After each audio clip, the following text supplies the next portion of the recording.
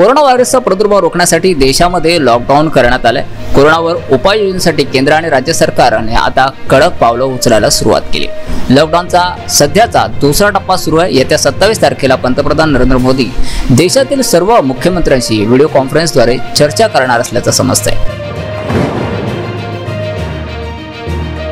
या चर्चेत कोरोना लढ्याची पुढची दिशा ठरवली जाण्याची शक्यता आहे. देशामध्ये कोरोनाबाधित रुग्णांची संख्या दिवसेंदिवस वाढतच चालली आहे. महाराष्ट्रात सर्वाधिक कोरोनाचे रुग्ण आढळून आले आहेत. त्यामुळे राज्यात कोरोनाचे रुग्ण आणि मृतांचे प्रमाण कसे रोखता येईल याबाबत युद्ध पातळीवर आता प्रयत्न करणे सुरू आहे.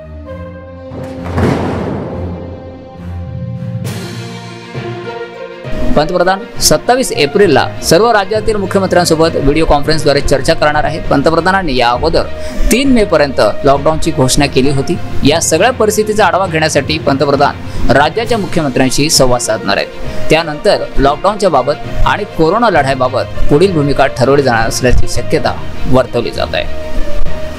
Bureau report news fifteen.